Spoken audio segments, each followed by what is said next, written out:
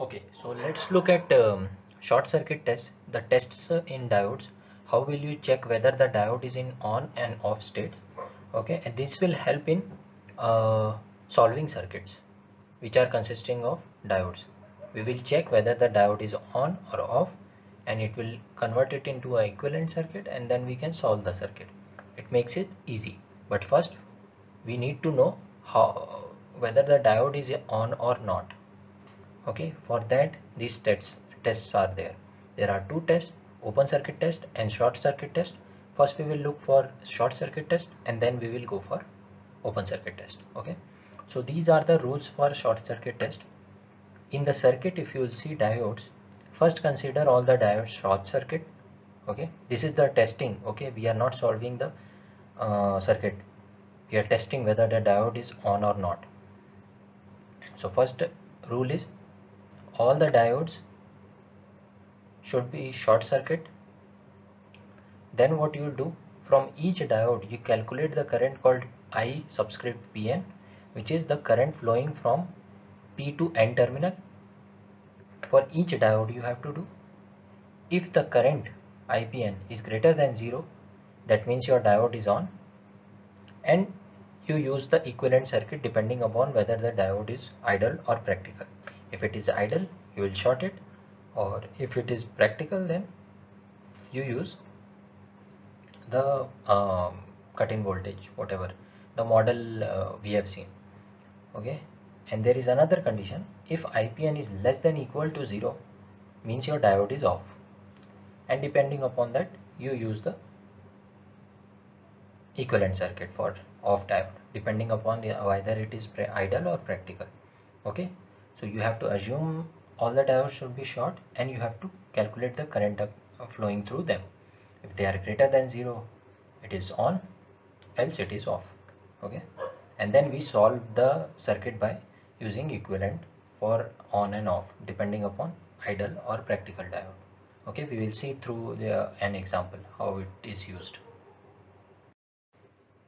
Okay let's uh, let's see an example this example consists of a diode D1 12 ohm resistor 18 ohm resistor 5.4 volt voltage source. And you have to calculate the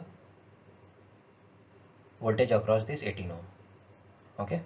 Now we don't go for this technique. Okay?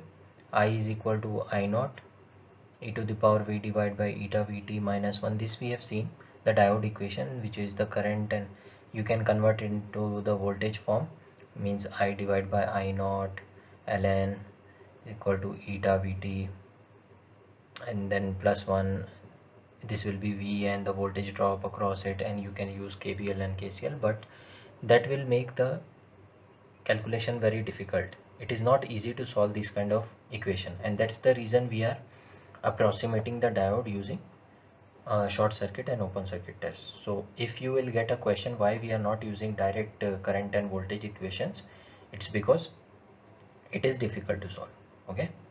So now coming back to short circuit test. So depending upon the rule you know that SC test that first we have to assume this diode as short circuit.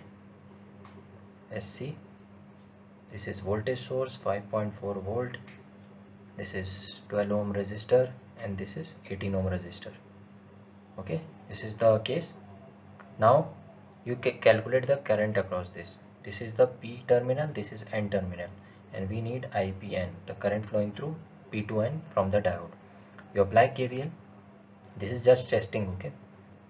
Minus 5.4 plus 18 in plus 12 12 plus 18 ipn this is the KVL so IPN will be equal to 5.4 divided by 30 you can clearly see it is greater than 0 which means your D1 diode is on. Assume the diode is idle for now. Okay so what will happen?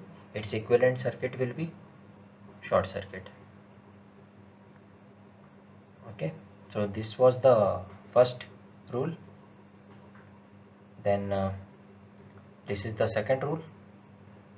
I checked uh, whether the current is greater than or uh, I've calculated the current. And the third rule is you check whether the third and fourth rule whether the current is greater than or less than equal to 0 it is greater than we got to know and then the equivalent circuit will be SC since it is idle. This was the testing phase. Now I know that it is tested. This circuit will be. Now I know that this diode is on this will be my equivalent circuit. 5.4 volt. Okay this will be my equivalent circuit. And if you want to calculate the V18 ohm this will be 18 divided by 30 into 5.4 you can calculate the value. Uh, values if I'll calculate this will be this will be 0.18 this whole thing. And this will be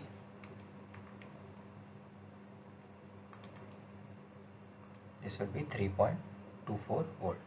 Okay? So you got it how uh, things are working. And uh, let's say you might see that these circuits look same but there can be cases where you check through one circuit and uh, after the, the checking the states of the diode the circuit will look like different. Uh, circuit will may look different okay? So let's see example on that. So if what I'll do if let's say this I'll write uh, okay this I'll remove remove. If let's say I'll write this 18 and 12 I'll merge and I'll write 30 ohm here and uh, let's say I will write okay I'll take both of them. Just to give you a better picture. 12 18 and let's say I have attached a voltage source which is 6 volt okay? Just to give you a feel that how these two circuit circuits will be different. Okay now I'll apply the same thing short circuit test short circuit test will make it short.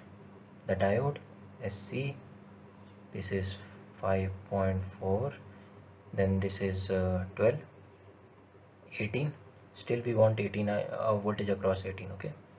And this is positive negative 6 volt. Okay now we want the current across this diode IPN again you will write the KVL minus 5.4 plus 30 IPN plus 6 okay is equal to 0 so IPN will be minus 6 plus 5.4 divided by 30 which is minus 0 0.6 divided by 30 0 0.6 divided by 30 so which will be minus 0 0.02 which is less than 0 so you got to know IPN is less than 0 which means diode is off which means diode will be replaced by open circuit in the equivalent circuit okay? So one now you will make the equivalent circuit it will look like point 4 this will be open this will be 12 ohm 18 ohm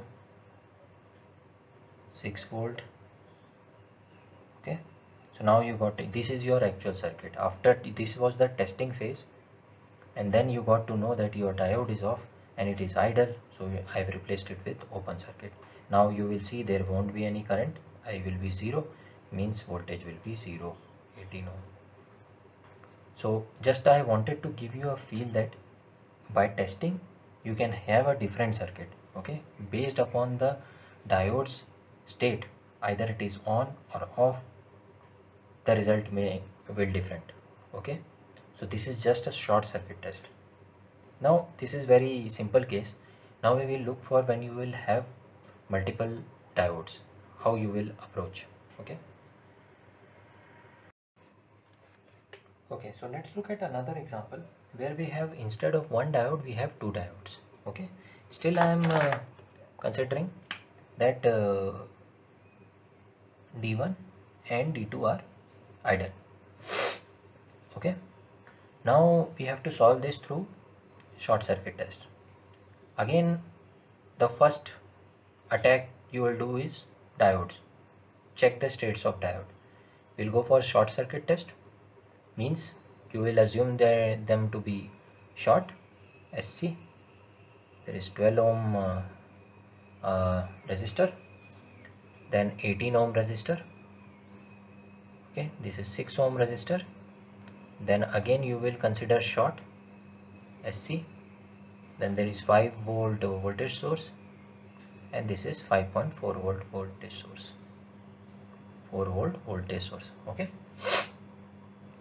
Mind you the current here will be P2N IPN1 and current here will be P2N this direction IPN2 okay so you can clearly see this circuit is solvable. You use the K KVL for both the loops.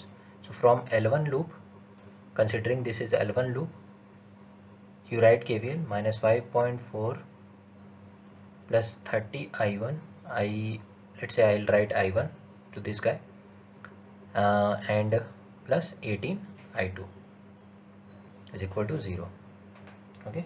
And from L2 this loop you will get minus 5 I am taking in this direction minus 5 plus 18 plus 6 24 I2 plus 18 I1 okay?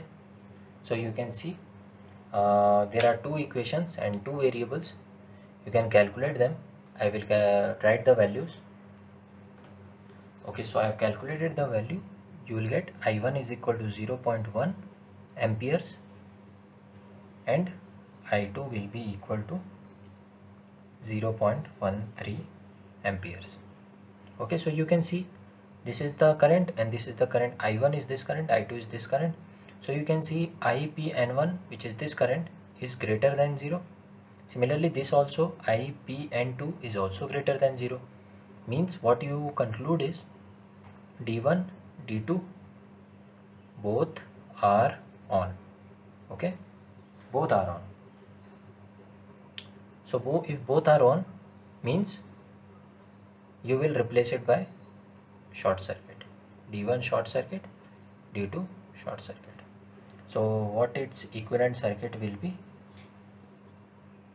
5.4 volt this is short see and this is 12 ohm this is 18 ohm this is 6 ohm and again short 5 volt and this all are connected okay?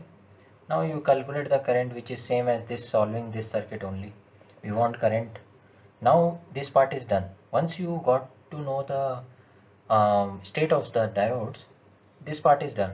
Now this is your equivalent circuit which is same as this. So we have calculated the i1 and i2 uh, i1 was 0 0.1 and this is 0 0.13 so total i 18 ohm will be uh, 0 0.23 amperes okay? So that is how you solve a circuit uh, which consists of diodes. Uh, you check for the states and uh, um, depending upon what is the state you replace it with uh, its equivalent circuit and uh, then solve the circuit whatever the currents and voltage you have to calculate